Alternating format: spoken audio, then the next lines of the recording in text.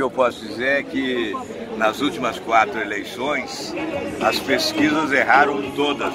As pesquisas de agosto erraram todas.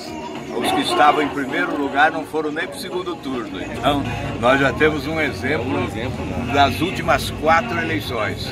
Nós temos que abrir o olho, porque inclusive há um sistema operando nas sombras, tentando dirigir a eleição, tentando enganar a população. Que sistema? Vamos ficar de olho aberto. Qual sistema? É principalmente o sistema financeiro.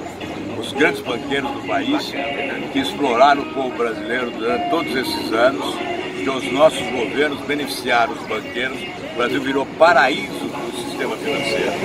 Eles não querem perder a boca, eles não querem a mudança, eles não querem essa ruptura que nós estamos propondo.